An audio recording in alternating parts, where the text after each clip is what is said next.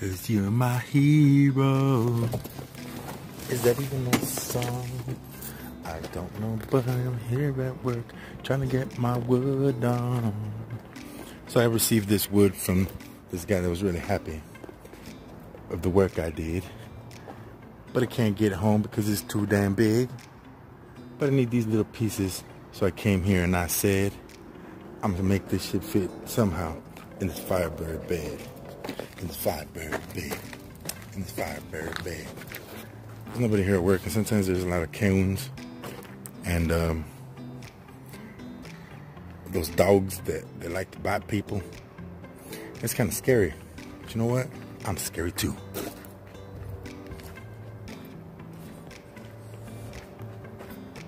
So yeah, so I just left Frankie and Charlie and her boyfriend, Charlie's boyfriend, at, uh, the hospital to visit you.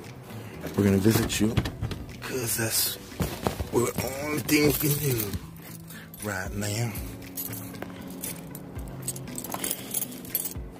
Remember this key is the key to freedom. And this key, that's the key to rock and roll.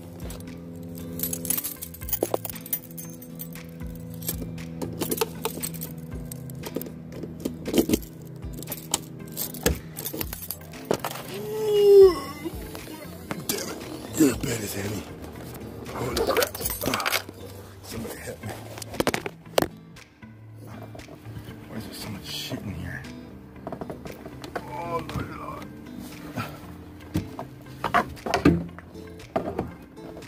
That's, that's what I'm about next. This little springs, man. Whew, this bed is heavy, dude. Heavy duty bed. This bed is heavy duty. Alright, man. I love you. Go Titans.